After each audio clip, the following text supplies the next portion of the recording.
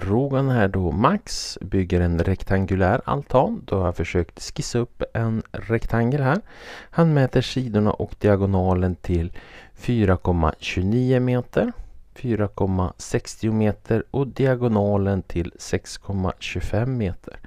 Har han lyckats få en perfekt rät vinkel och då är den här vinkeln då som är frågan. Är den rät den där?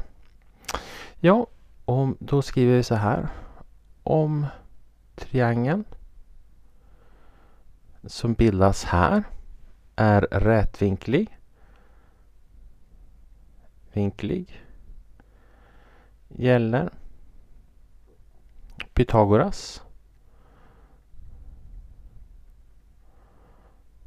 sats. Sådär. Så då har vi a i kvadrat plus b i kvadrat lika med c i kvadrat. Så då kan jag låta det här vara mitt a. Det där vara mitt b. Och det där vara mitt c då. Och så undersöker jag vänsterledet, alltså a i kvadrat plus b i kvadrat lika med då 4,60 i kvadrat adderat med 4,29 i kvadrat. Så då har vi 4,60 i kvadrat plus 4,29 i kvadrat. Det blir 39,5641. Då skriver vi det då.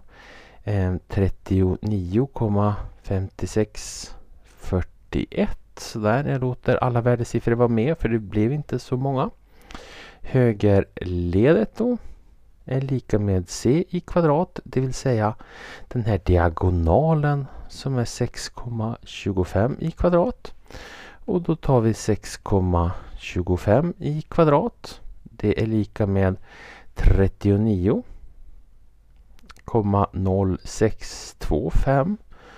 Och då så har vi att vänsterledet är skilt från högerledet. Nej, han lyckades inte.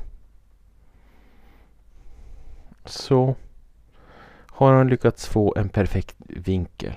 Svar. Nej, det blev inte en perfekt